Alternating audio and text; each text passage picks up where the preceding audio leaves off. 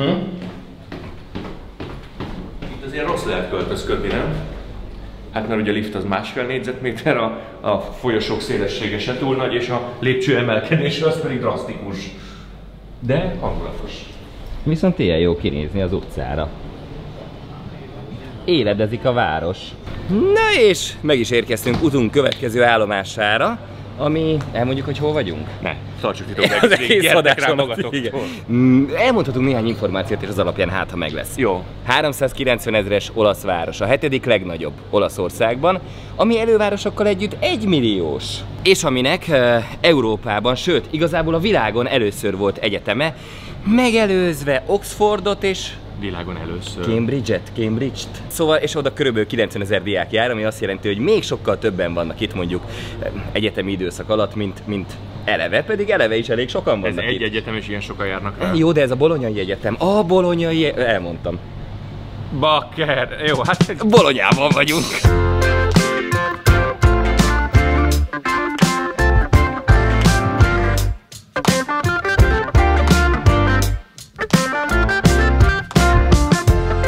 Így kéne reggeliznünk egyet. Van még uh, 27 percünk. mi lenne, hogyha, mi lenne, hogyha elmennénk, megcsinálnánk a munkát, és utána majd ennénk valamit. De ne, az, az másfél óra, és addig végig kajákat fogunk nézegetni. Most kell lennünk, különben el fogjuk hányni magunkat az étteremben.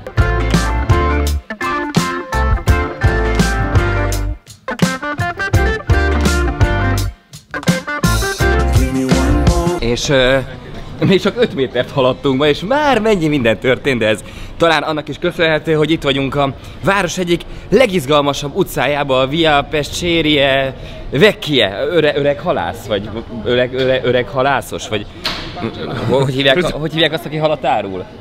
Halas? Öreg halas? Öreg halas. Na mindegy, szóval, hogy itt van a szállásunk, aminek az a hatalmas előnye van, hogy a legnagyobb buli központ közelében vagy, sőt, közepén vagy, éppen ezért, hogyha este eszel egy jót, vagy iszol egy jót, akkor nem kell sokat hazafelé sétálni, hanem így belépsz az ajtódon. A hátránya pedig az, hogy a város egyik legdurvább bulizónájának a közepén vagy, ami hajnal fél kettőig hangos arra megyünk. És ameddig odaérkezünk, ahova tartunk, és ahol 15 perc múlva kell lennünk, hogy megtudjunk egy titkot, ami mindig is érdekelt minket. Spoilerezzünk, hogy mi az a titok? Mi az a bolonyai? Hogyan készül igazából a bolonyai? És mi Kell-e? köze van ahhoz, amit mi otthon bolonyainak nevezünk? És kell -e bele paradicsom? És mindezt a város egyik legjobb bolonyait készítő éttermében fogjuk megtudni. De addig is beszéljünk a városról és az egyetemről, ahol Boccaccio is, meg Dante is, meg Petrarka is tanult. Beszéljünk a városról, amit etruszkok alapítottak, és ami a 12. századra már ilyen tízezer lakosú volt. És ezzel, ezzel azt hiszem, hogy a második legnagyobb volt Európában, vagy az egyik legnagyobb európai város volt, ami hát meglehetősen nyomorúságos, hogyha figyelembe vesszük, hogy ezer évvel korábban Rómában már egymillióan laktak, és ugye ezer éve eltelt, és hát ezért is nevezik sötét középkornak, mert már tízezernek is lehetett örülni, de minden esetre Bologna örült ennek a tízezeres lakosság számnak, ami a 16. századra felment 70 ezerre, mert hogy az egyik legdinamikusabban fejlődő város volt az akkoriban, aztán jött egy pestis hullám, ami hát tulajdonképpen a város lakosságának a harmadát elvitte, majd utána ilyen lassú fejlődés indult, de az a helyzet, hogy Bologna pápai állam része lett, és itt kezdenek el bonyolódni a dolgok. Igen, szóval szépen lassan felkúszott újra 70 ezerre a lakosság szám, viszont ebből a 70 ezerből 40 ezer ember mély szegénységben élt, és 10 ezer volt a konkrét kódus, tehát hogy minden hetedik ember az az utcán élt és kódult, és mindez annak volt köszönhető, hogy a pápai állam az, hogy is mondjam, gazdaságilag nem volt éppen a toppon, és ö, olyanokat csinált, hogy kiemelt egy-egy nagyvállalatot, és azt ö, extra módon támogatta, és Ne. ezzel jelentősen torzította a versenyt, és ez a korrupciónak is a meleg Meleg ágya ágya. volt. Persze meg tudták ideologizálni, hogy ez miért jó, de, de valójában ez hosszú távon ahhoz vezetett el, hogy Bologna egy ilyen szegény, nyomorúságos Koldusbotra jutott. Koldusbotra jutott. Nem Ó. tudom, hogy ennek van-e bármi tanulsága a mi szempontunkból, vagy a Hál' jelen Istennek. korra néz. Hál' Istennek, Hát nekünk ilyesmivel nem, egyáltalán nem kell szembesülnünk. De a lényeg az, hogy hát az 1800-as években aztán elindult a fejlődés, és konkrétan a második világháborúra olyan fontos város lett Bologna, hogy az amerikaiak előszeretettel bombázták. Tehát, hogy a, a város épületeinek a 44%-át a sikerült megsemmisíteni, viszont ezzel együtt is ennek a városnak, Bolonyának van Európában az egyik, azt hiszem, hogy na ez a második, a második legnagyobb történelmi központja, Ezt ilyen akartam kérdezni, 130 30 hektárral. Hogy akkor ezt nem sikerült szétdurrantani. Nem, meg Hát, egy csomó nem ezt- nem ezt mindent bombázták, újjá ugye? is építettek, azért sok mindent, sok, sok ilyen történelmi nevezetességi szét lett bombázva, de egy csomó minden újjá lett építve, és egyébként a városnak az érdekessége, hogy hát a fasiszták ellen is nagy erővel lépett fel már a második világháborúban, ugye az olaszok voltak a fasiszták, de itt egy nagyon erős balos blokk volt olyannyira, hogy a második világháború után tulajdonképpen egy nagyon rövid időszakot leszámítva mindig balos vezetése volt a városnak, sőt konkrétan kommunista, tehát ilyen 40 évig a helyi kommunista párt vezette a várost, ami a legdinamikusabban fejlődő olasz város, 2000 óta Európa kulturális központja, és még egy nagyon érdekes adat, az átlag életkor 51 év. Hát jó, a nyugdíjat nem kellett fizetni, ezért ment a dolog. Ezért ment jól a szocializmus, nem? De nem, hát ez pont ezt mondom, hogy nagyon sok az öreg. Nagyon sok az öreg, tehát az olasz átlag 42 év. Ez nem a várható élettartam, Ja, hanem egy átlagos ja, bocsánat, ja, ráböksz, akkor az 51 ja, éves bocsánat, lesz. én meg azt hittem, hogy 51 Ne, után meghalt. nem, nem, nem, nem. Mondom, ez így könnyű. Mi gyönyörű. Ez a kis va- vasút tényleg nagyon szép. Kéne otthonra is egy kis vasút. Meg volt, hogy te most kommunista propagandát nyomod, ugye, hogy, mert hát ugye kommunista volt 40 évig, és jól ment. Ja, jó, ezzel nem arra akartam célra, ne, ne, ne, ne. Van-e tanulsága annak, hogy itt Nem. kiemelünk egy-egy nagyvállalatot, de a kommunisták... Nem semmi esetre sem szeretném azt állítani, hogy a kommunizmus az bármiféle gazdasági fellendülésnek bármiféle alapja lehet. Minden esetre ebben a városban ez, a, ez az összeállítás működött, és um, szóval most tényleg behatolunk egy neves helyi étterembe, és uh, megismerjük a bolonyai szörnyű titkát, mármint ha emlékeznek arra, hogy tegnap megbeszéltem velük, hogy ma, ma bemegyünk együtt hozzájuk.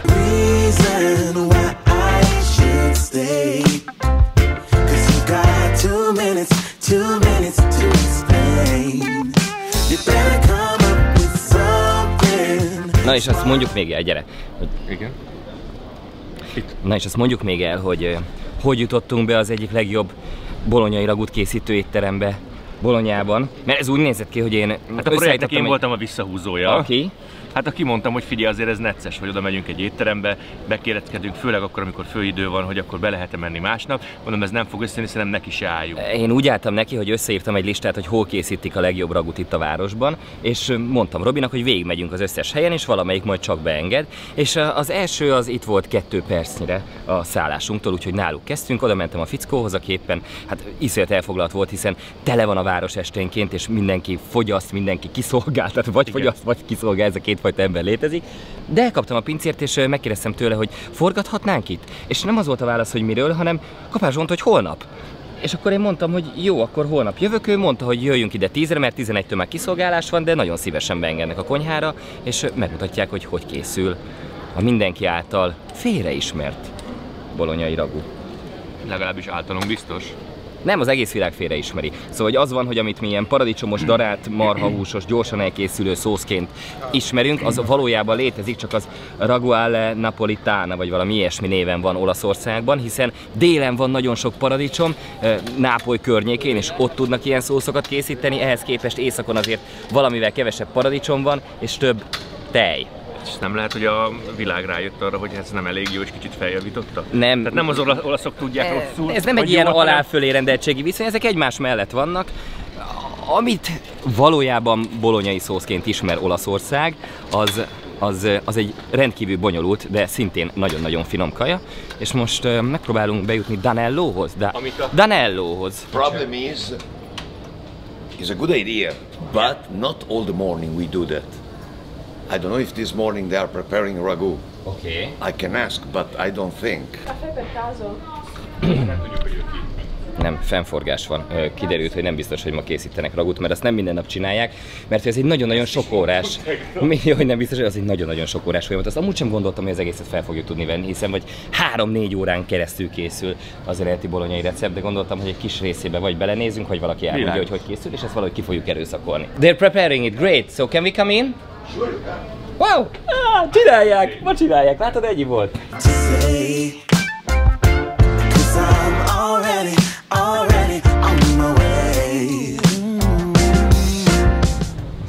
Hát aki... Ő. Mi ez a fiatal gyerek? Persze. Ő, Nézd, itt van. ő az, akivel Persze, ő az, beszélgettünk. akivel beszélgettünk. De jó, itt meg lehet nézni a, összes a fotó. változásait. Az összes fotó ott van. Itt már egy kicsit idősebb.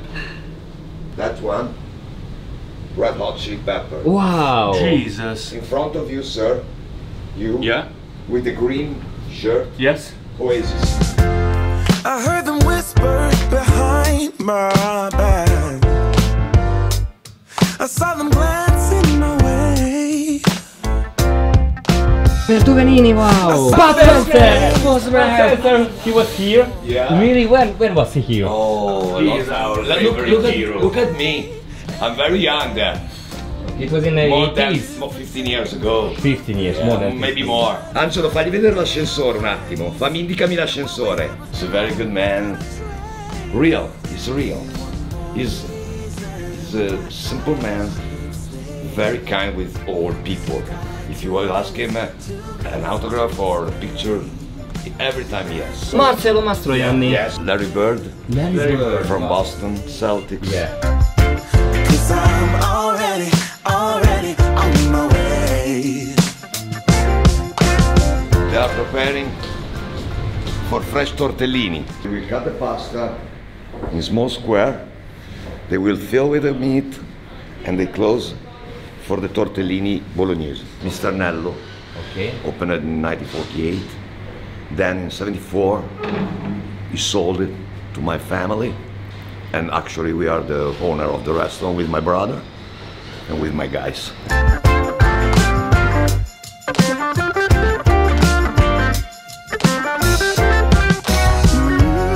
You keep talking about your wounded pride. Acting like you've been deceived. Now the ragu is starting to boil and it will boil till 3 o'clock alle 3 two and a half for uh, four hours. Okay. How do you make it? So what, what is the um, process Okay, the, the, the, the, beginning is just celery, carrots, olive oil in the base, then beef meat and tomato. And it will be boiled a lot to be a great ragu. Okay. Okay. Uh, do you add uh, milk or uh, wine or E ci metti il latte che co- little bit of milk. Only milk. No, il vino sì. The wine, okay, before the wine, when you prepare the base, then the milk when you have already the sauce prepared. Also in Italy we have a lot of kind of ragu. In the south they make ragu with with uh, how do you say polpette, and it's different. Ragu bolognese is only one. The ragu is the base of lasagna, is the seasoning for the tagliatelle, also for tagliolini if you want, and okay, you can use for all pasta. But if you come in Bologna, you eat with tagliatelle or inside lasagna. you make the bolognese ragu not with spaghetti? Absolutely not. No. Why, No. why is it so important that And it's uh, not I have, I have, okay, why? Because the real pasta to eat ragu is tagliatelle.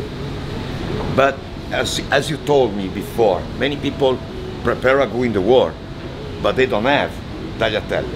And the pasta more similar, because it's long, to tagliatelle is spaghetti.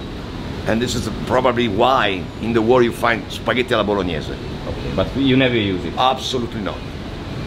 Okay, if somebody like a baby, he asks me a spaghetti bolognese, we don't, we never know no, because it's not good. But if you, adult, ask me spaghetti alla bolognese, I will tell you no. For a baby, yes, but for an adult, no. But you keep treating me like I am not here. Like I don't have what you need.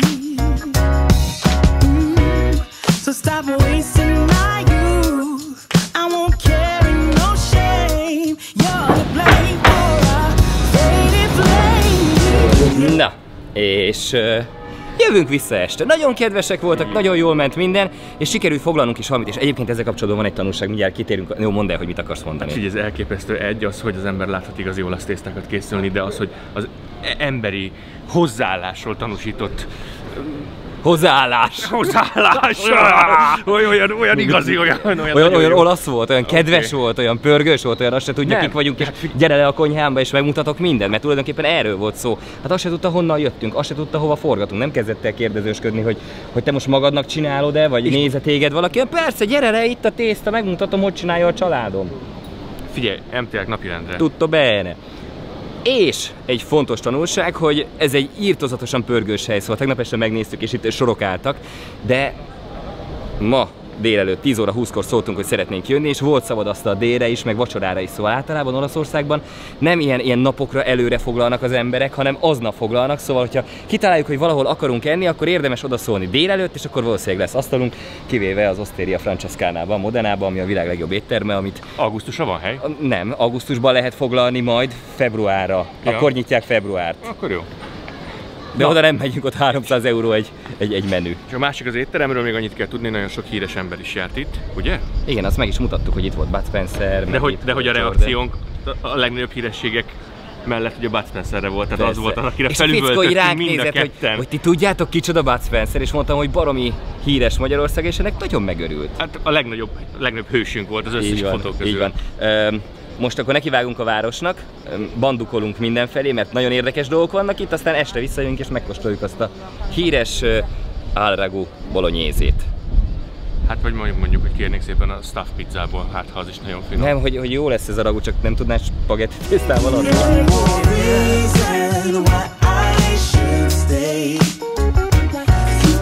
Two minutes, two minutes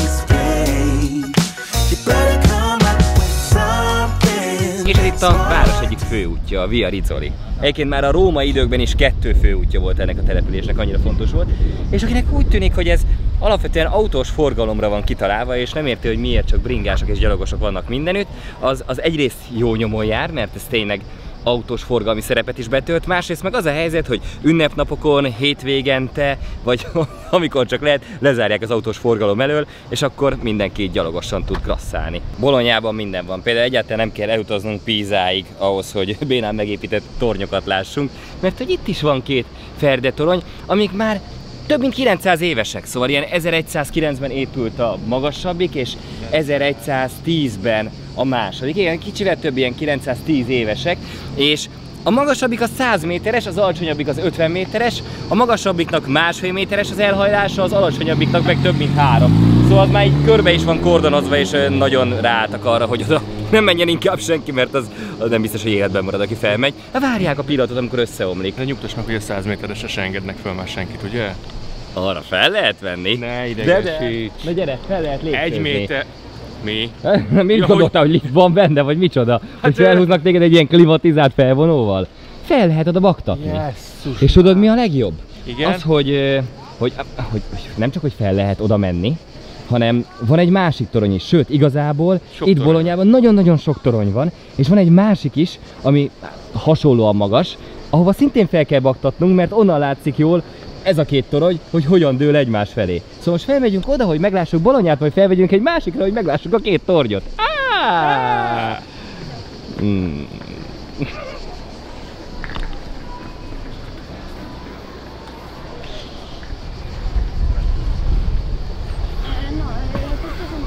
Jó, aztán, hogy Covid idején fel lehet menni, vagy sem, azt nem tudom.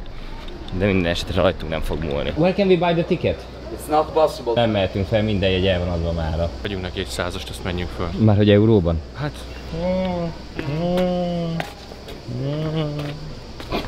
Meg kéne venni valaki jegyét. Három euróért vették. Megmondom, hogy adok érte hatot. 6 euro for a ticket? Nine? Hát ezzel nem hisz, hogy sokra mész. Ten. Most örülsz, mi? Most remélem örülsz, de akkor is megpróbálunk feljutni a másikra, ahonnan látszik ez. Nem, ebből az a tanulság, azt kell, azt kell megértenünk, hogy Covid idején egyszerűen máshogy működik a turizmus. Ez egy fontos tanulság az adás szempontjából is. Covid idején jobban kell készülni az ilyesmire, mert hogy sokkal kevesebb embert engednek be egy csomó helyre, és nem az van, hogy csak úgy odamész és megvan a jegy, hanem hanem meg kell venni előre. Mert az a kevés hely gyorsan lehet, elfogy. És nem az van, hogy nagy az érdeklődés, még Covid Nem, ott van, az, is. az a, a, ott van a kápolna, tudod, amit láttunk Igen, Pádovában. Szkrovinyi kápolna. Na ott is az volt, hogy sokkal kevesebb embert engedtek be, mint általában. Ezzel együtt tudtunk oda jegyet venni, mert hogy a turistából is kevesebb van, de hogy előre kell tervezni. Ó. Hát én már nem beleéltem magam.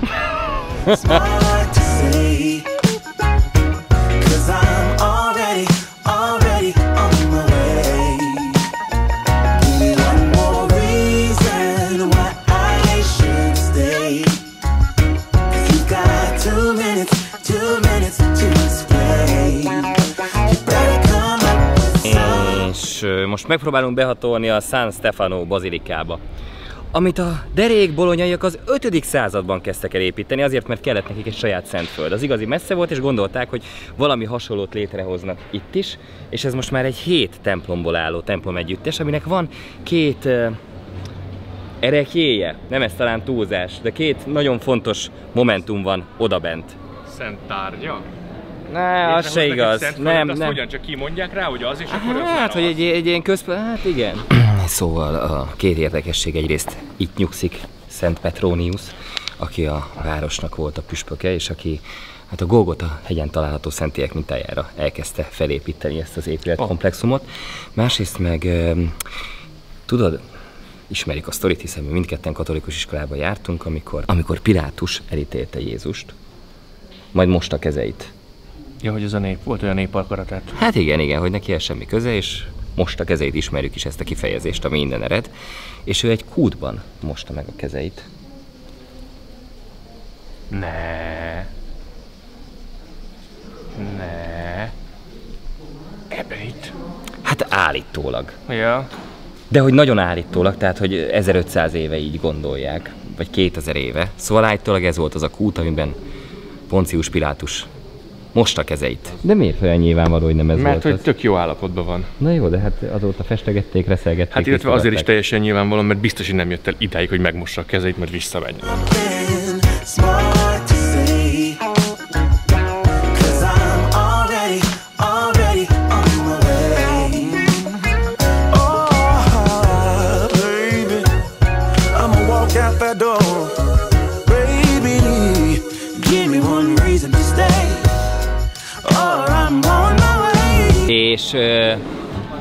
Visszatértünk a saját utcánkba, a Via Pescsérievekkébe, ahol ma nem fogunk időzni, mert annyi helyre kell mennünk, de azt azért mondjuk el, hogy tegnap este itt vacsoráztunk, mert itt vannak ilyen hentes üzletek, és azokban mindenféle árut felszolgálnak, amiket ők árulnak. Szóval bemész és kérsz egy ilyen tálat, amire rávágnak hatféle felvágottat, meg egy csomóféle sajtot, sajtot, és de kérhetsz olyat is, hogy nyolcféle felvágott és nyolcféle sajtot, ilyen őrületes tálat vannak. És az a helyzet, hogy Tegnap nem néztem meg, hogy hova kéne beülni, mert tudtam, hogy itt van egy hely, ahol, amit viszont ki kéne választani, mert ilyen több generációs étterem, Aha. és ahol uh, nagyon jó minőségben készítik ezt, viszont beültünk az első helyre, ahol volt szabad asztal ide a Simonihoz. Nagyon jó minőségben Azaz. készítették.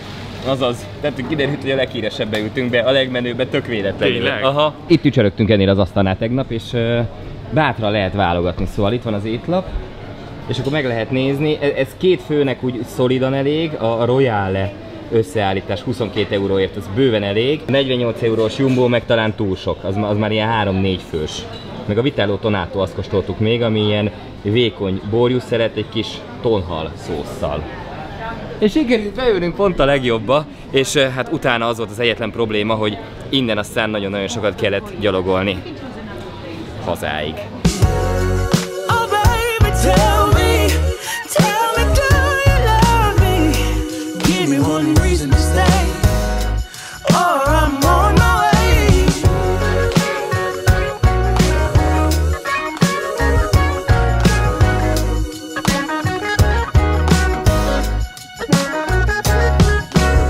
Elképesztően jó hangulata van ennek az utcának is este, úgyhogy ezt nagyon tudjuk ajánlani, hogyha hosszabb időre jöttök, de igazából egy éjszakára is pont megfelelő ez a helyszín ahhoz, hogy átérezzük ezt a bolonyai hangulatot, ami tele van emberrel, tele van jó kedvel, tele van nagyon csinosan felöltözött, jó humorú, jó hangulatú emberekkel, és ennek ez az epicentruma. De most beszéljünk Beszéljünk erről a hatalmas templomról. Szóval ez itt a San Petronio templom mögöttünk, aminek két érdekessége van. Az egyik az, hogy ez a tizedik legnagyobb templom az egész világon. Mi? Aha, a tizedik legnagyobb templom. A másik érdekessége, hogy hát ha megnézzük a külsejét, akkor egy szépen díszített gótikus templom, amiben ugye elsőre talán semmi különös nem lenne, de hogyha a kamerát elkezdjük kimozdítani, akkor már láthatjuk is, hogy 1300-as években, az 1380-as években elkezdték építeni, aztán 100 évvel később elfogyott a pénz meg a lelkesedés, és így aztán nem került rá az a márványborítás, ami a templom többi részén van, és ez azért különleges ez az épület, bár Olaszországban, azért Firenzében is, meg egy csomó más helyen lehet hasonlókat találni, de azokról általában teljes egészében hiányzik a burkolat, szóval ezt azért jó megfigyelni, mert, mert telepezi magát az 1300-as évek építészete, hogy ezek a templomok nem márványból vannak kívül belül, hanem van egy ilyen egyszerű téglaépület, és arra rakják rá a csicsát. Szóval ami rákerül kívülről a kő, a díszítés az nem része az épületnek, hanem az rákerül, mint egy smink. Már ahol. Mi a helyzet a belsejével? Az sincs kész? De az készen van. Csodálatos gótikus templom belülről. Meg is tekinthetjük, ha gondoljuk. Gondoljuk? Hát ha a tizedik legnagyobb templom a világon, az csak meg kéne nézni. Na hát, és uh, itt a téren még muszáj beszélünk egy popkulturális utalásról. Hát talán túlzás ez popkulturális utalásnak nevezni, de itt van mögöttünk ez a Neptun kút, Igen. ahol uh, lándzsáját feszítve néz a távolba Neptun. De látunk-e valami érdekeset? Akár Neptunon, akár azon a lándzsán. Persze, Nem ismerős a- valahonnan? Na? A kis hablányból. Nem. Ja, akkor izéből, akkor mennek ilyen Nem, volt. nem film, nem film. Egészen máshol kell keresgetni a dolgokat. Egy olasz kötődét. Nézd azt a lándzsát, a lándzsának a fejét. Ja, Maserati. Semmi- A Maserati, innen vette. Tényleg? Konkrétan erről a szoborról van a Maseratinak a jele. Én tényleg nem tudtam. De Harmadik, harmadikra meg volt. Harmadik kis hableány után szinte egyből jött a Maserati. És van itt még valami, amiről beszélnünk kell, egy, egy emlékmű. Szóval hallottál a... Hallottál a Stazione di Bologna. bolonyai mészárlásról? Sokan nem hallottak a bolonyai mészárlásról, az 1980. augusztus 2-án történt, 80. Aha, tehát nem is olyan nagyon régen, amikor is ö, valakik elhelyeztek egy bombát a helyi pályaudvarban, a klimatizált szoba alatt, ahol nagyon sok ember volt, mert augusztusban borzasztó meleg volt, és berobbantották azt a bombát, úgyhogy rászakadt a tető az ott álló és várakozó emberekre, sőt még a, a, a váró mellett található vonat is komolyan megsérült, és több mint 80-an haltak meg, és ez pedig nekik állít emléket. És hát ez volt? egy, na ez az, ez az, hogy ki volt, ugye? Ez egy terrorcselekmény volt, és el is ítéltek utána néhány fasisztát, akik mindenféle terrorakcióval tartották akkoriban sakban az olasz közéletet. Hasonlóan a baloldali terroristákhoz, csak azok politikusokat robbangattak, a jobboldaliak meg inkább rászálltak a, a, a jó polgárokra, hogy hogy minden stresszben tartsák őket, és el is ítéltek két embert ezzel a bűncselekménnyel kapcsolatban, ilyen nagyon sokszoros életfogytiglani büntetést kaptak, 10 éve szabadult az egyik, egy hölgy, de hogy a szabadulás az talán azzal is összefügg, hogy hogy azért úgy vakarják a fejüket, hogy tényleg ők voltak-e. Tehát, hogy nagy valószínűség szerint ők voltak, de azért ez nem egy ilyen letisztázott Ó. helyzet. Amit biztosan lehet tudni, hogy hogy 30 évvel ezelőtt, sőt 40 évvel ezelőtt több mint 80 ember meghalt itt Bolonyában egy terrorakció következtében, amit viszont nagy valószínűséggel nem külső erők léptettek életbe, hanem, hanem, hanem országon belüliek. És ez nekik állít emléket. Azok meg ott a Azokat az áldozatok és a koruk. a koruk.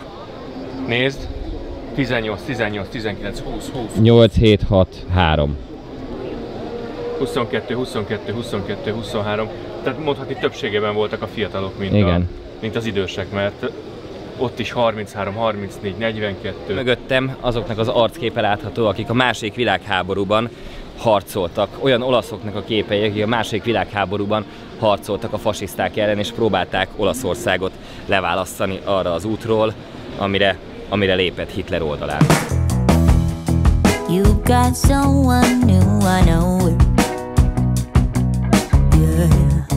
But I will keep on denying.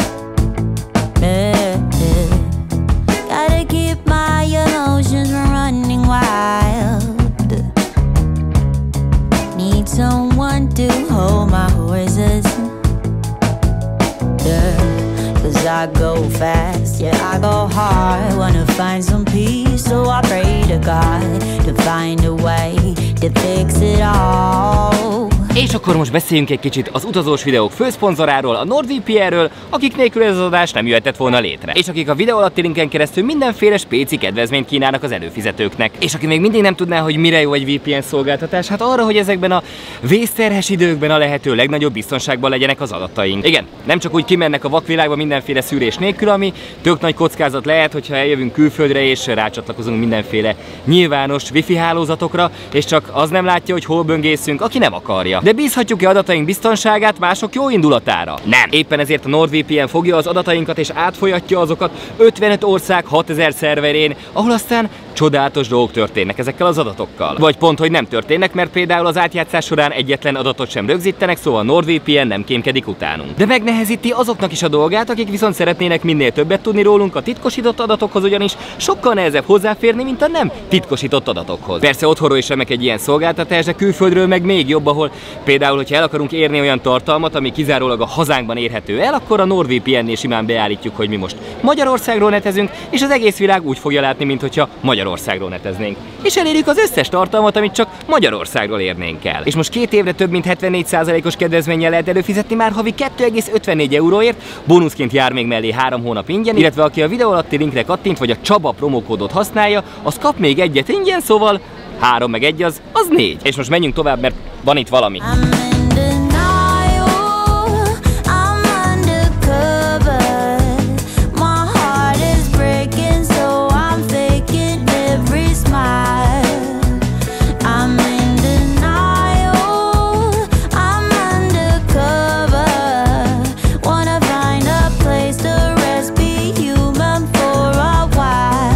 Predi, Prendi Parte. Ez itt a Prendi Parte torony, ahova annak ellenére jöttünk el, hogy a Google Maps szerint például ma zárva van. Egy másik nagy tanulság, hogy az olasz kisvárosokkal kapcsolatban egyáltalán nem hagyatkozhatunk az internetre, mert azok bevisznek olyan utcákba, amik nem hogy le vannak zárva, hanem sose voltak megnyitva a forgalom előtt, és hát azért itt úgy gyorsan változik az, hogy mi, mikor és hogyan van nyitva, szóval érdemes eljönni ide, és ebbe a toronyba például fel tudunk menni, és meg tudjuk nézni a város felülről, például azt a két tornyot is, ahova nem fogunk bejutni soha már, vagy legalábbis most biztosan nem, de amit sokkal jobban tudunk megnézni innen, mint amikor a tornyon állsz, mert akkor nem látod saját magát.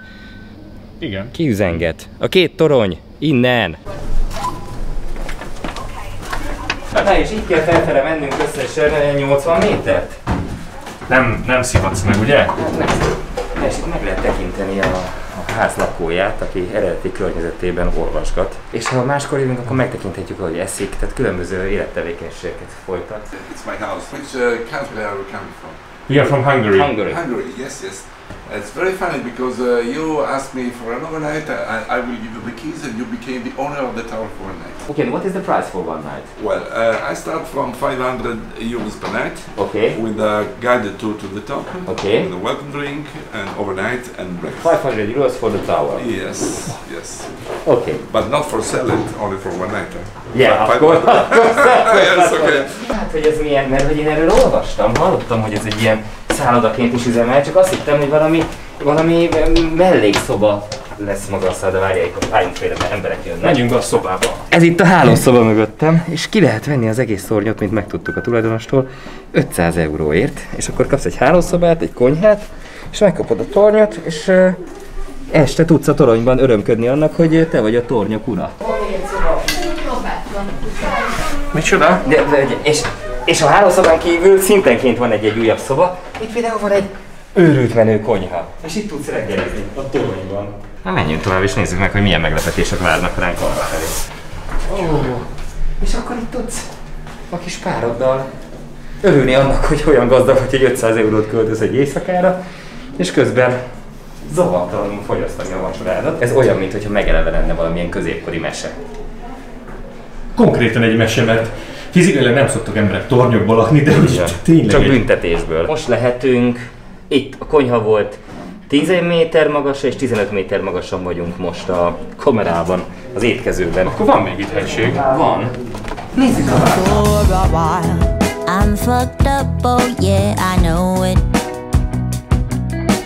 During the um, 18th century, um, this had a um, function of prisons. Ez nem csak a filmekben létezik, hanem az itteni fogvatartottak tényleg beúzták ezeket a kis rigulákat, hogy hány napot töltöttek itt. Hát nem sokat.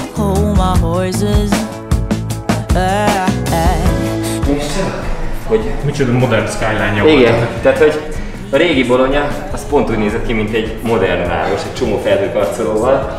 Itt a két torony, amik kicsit ilyen nyomorútul állnak. Mi most vagyunk talán ebben, Vagy ott abban. nem azt hiszem ebben, Szerintem abban. Vagy ebben. Mert itt, meg Itt ez, itt ez a templom, igaz? itt voltunk egy fedett mellett, és az, mellette van egy kicsi. Jó, oké. Vagy ebben. Ab- Abban vagyunk. Ebben, igen. I'm undercover. Wanna find a place to rest, be human for a képzeld el, hogyha kibéred az egészet, így csatangolhatsz az éjszaka közepén, és senki nem szól rád. Nem tudom, hogy miért vennék ilyet, de Nem szól rád a házmester? 500 eurót fizetnék érte, akkor biztos, hogy egész éjszaka fels alá mászkálnék, és olyan dolgokat csinálnék, amiket napközben tilos.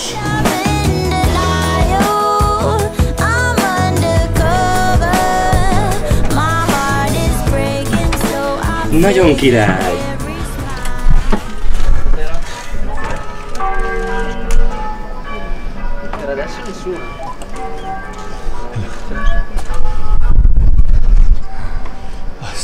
És ott van a két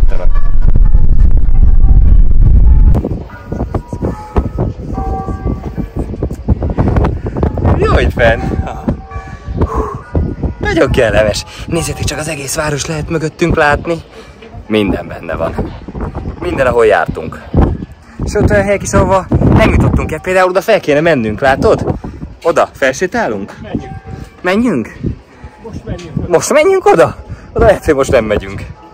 Pedig képzeled, tudod mi az érdekessége? Hogy oszlopokat tartott tetők alatt lehet oda felmenni. Ugyanolyan árkádos szerkezetű oh. lépcsősoron lehet oda feljutni, mint ami az egész városban van. Ez a leghosszabb ilyen a világon. De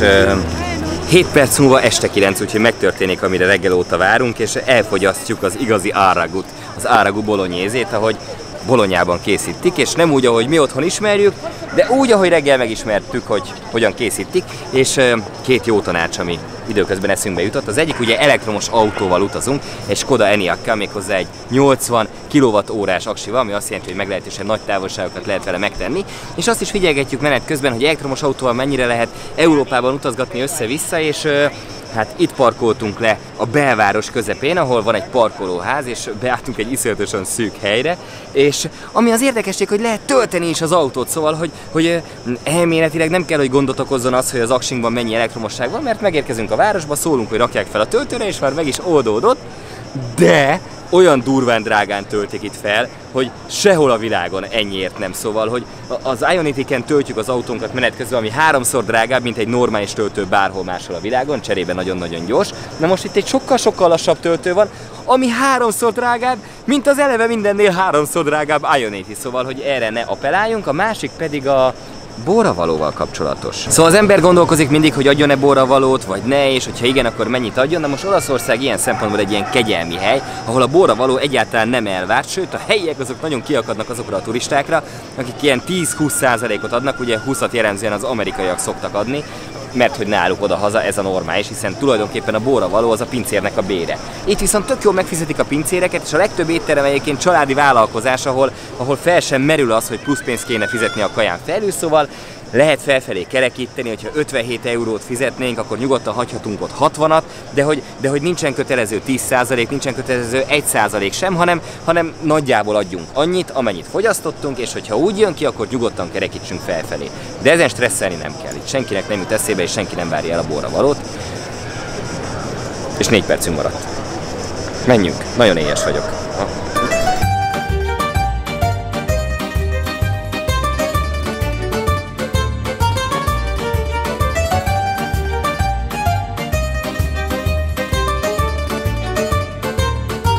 De azért ne csak bolonyait tegyünk, hanem Értelem, mehetünk Milánóit is, én jobban szeretem amúgy is. De ők nem ismerik azt a receptet, mondjuk el nekik, hogy hogyan kell csinálni Milánóit? Hogy igazából sonkával, gombával, még egy kis paradicsom, aztán készen van? kész. Meg egy kis rántott hús, nem? És hogy eh, itt a tulajdonos nem az van, hogy otthon ül. Egy este, méghozzá este 9-kor, hanem itt dolgozik és pincérként tevékenykedik. 50 éve a családja tulajdonában van ez az étterem, az összes hírességgel parolázott, de ennek ellenére nem otthon pöffeszkedik és számolja a pénzt, hanem beáll a többiek közé és pincérkedik. Ez nekem nagyon szimpatikus. Nem biztos, hogy ezt csinálnám a helyében, sőt én otthon pöffeszkednék, de nagyon tetszik, hogy ő más utat választott.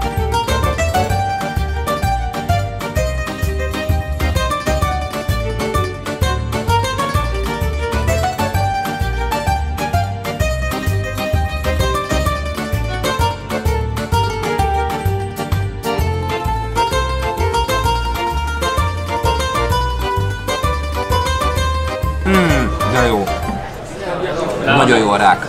Nekem itt csabai karaj lett ide rakva. Nagyon, igen, nézem, hogy nem, az az étterem, amikor korbászon betöltve, akkor Az, az, rajban. az a csabai, igen.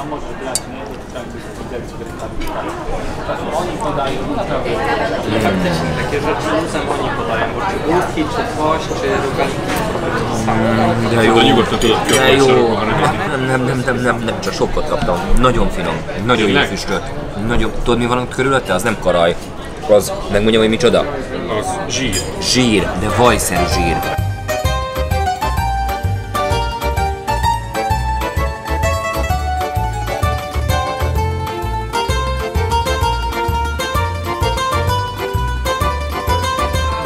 Buon appetito. Na, na! Az igazság pillanata.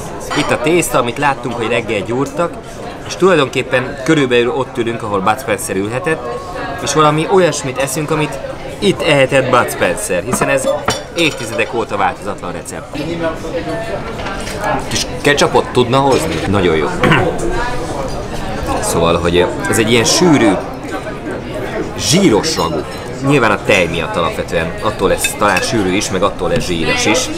Nagyon-nagyon krémes, és hogy sokkal kevésbé paradicsomos, mint amit otthon szoktunk enni, hiszen kevés benne a paradicsom.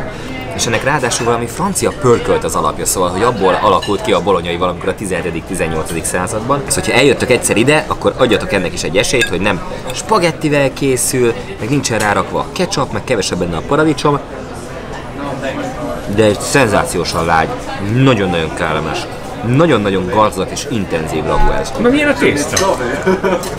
Am, am, amilyenek lennie kell. Al dente? Al dente, épicit talán Hú, uha. puhább, Az jó. de azt mi szeretjük Magyarországon. Igen. Tehát eh, ahogy a magyarok szeretik az al dente tésztát, jól átfőve. Nagyon jó. Ugye? Tök jó szán ez a hús, és tök jó szaftos a szaft. És tök jó, hogy ezt a tésztát láttuk, ahogy elkészül reggel. És azért hasonlít a bolonyaihoz. Ja persze, tehát nem olyan, mint a szőlőt tennénk. Nem. És hogy az tök más, mint a bolonyai. Nem. nem, tehát ezek van közel a kettőnek egymáshoz. Darált hús, kis paradicsom, csak ez krémesebb. Így, sokkal. Szószosabb.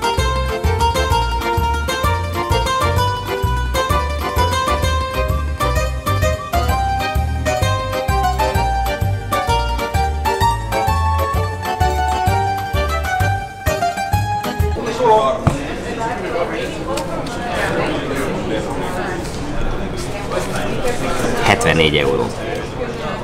Csak hogy képben legyünk. Három fogás, bor, víz. Ez egyébként itt többé-kevésbé egy normális ár egy jó étteremben. Szóval nagyon jóban simán kifizet az ember 100-150-et. Sőt, ugye Osteria Francescánában, Modenában ott ilyen 300 euróba kerül egy főnek a menü, de most ne boruljon el az agyunk. És az öt fogás, egy McDonald's-on meg meg lehet úszni mindezt 20 euróból talán, ami két főnek 40. Ez hát kb. kétszer annyi. Mehetünk! Na hát, ez a mai bolonyai adás ezen a drámai csúcsponton, mint egy keretes szerkezetbe helyezve véget is ér, de tudjátok, a videó alatt megtalálhatjátok a biztosítás.hu-nak a linkjét, ahol mindenféle utasbiztosítást tudtok összehasonlítani, amire nagy szükség van, főleg ilyen covidos időkben, akárhova is utaztok. És hogyha kattintatok és biztosítást kötök, még abba is be tudtok szólni, hogy a biztosítás.hu milyen jótékonysági projektet támogasson. És hát a bolonyai blokkunk az nagyjából ennyi, de holnap még jövünk vissza.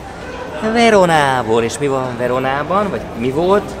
A veronai szerelmesek. Rómeó és Júlia, ami így nem igaz, mert az valójában egy szienai történet, de minden esetre Shakespeare, aki talán sose járt Veronában, sem Olaszországban, oda helyezte a sztorit. És elvileg van ott egy erkély, amin Júlia állhatott. De megnézzük azt is. Sziasztok!